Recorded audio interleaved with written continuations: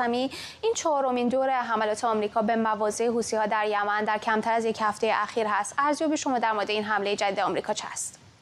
با درود به شما و مردم عزیز ایران بایستی ارز بکنم امریکا داره سعی می‌کنه به حوسی ها و از طریق اونها به جمهوری اسلامی این پیام رو بده که یک ما شوخی نداریم و دو این روندی که شما در پیش گرفتید راه به جایی نخواهد برد و احتمال تنش رو بالاتر می‌بره. البته ما اینو میپذیریم که ایالات متحده و کشورهای غربی هیچ گونه علاقمندی به اضافه کردن به گرفتاری هاشون در منطقه خلیج فارس و اون منطقه ندارن. اما این رو هم می‌دونیم که دولت ایالات متحده نمی‌تونه این رو تحمل بکنه که نیروهای جمهوری اسلامی نیروهای نیابتی جمهوری اسلامی آسایش و امنیت راه آبهای دریایی که به کشورهای مهم دنیا اجناس و سوخت میرسونن رو بند بیاره. اینها رو همه رو عرض کردم. ولی یک مسئله دیگر هم هست. همین تقریبا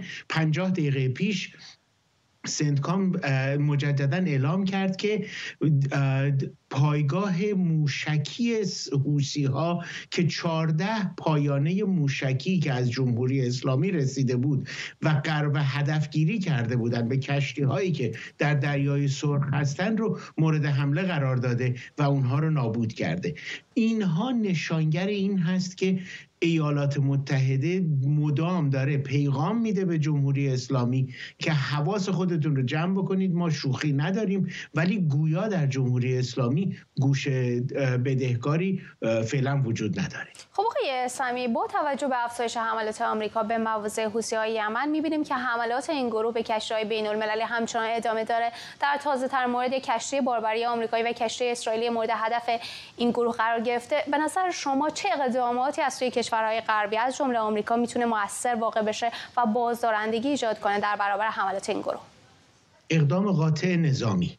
اقدام قاطع, قاطع نظامی در مقابل این حملات حوسی ها می‌تونه اونها رو یک بار برای همیشه از بین ببره و می‌تونه یک بار برای همیشه یک پیغام درست و درمانی به جمهوری اسلامی و سایر حامیان اونها بده که رفتار و عملکرد تروریستی کارساز نیست.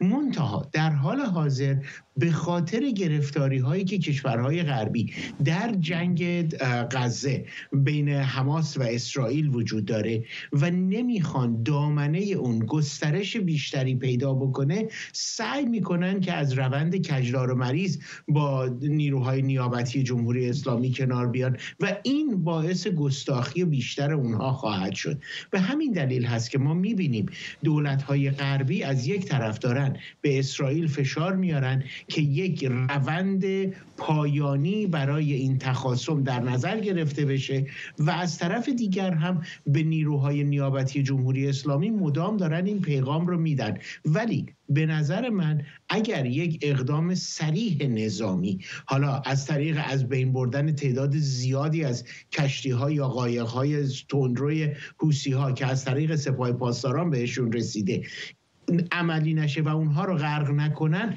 من فکر می‌کنم که این اقدامات نابخردانه نیروهای نیابتی جمهوری اسلامی ادامه پیدا می‌کنه. بسیار متشکرم از شما شایان سمی کارشناس امنیت ملی.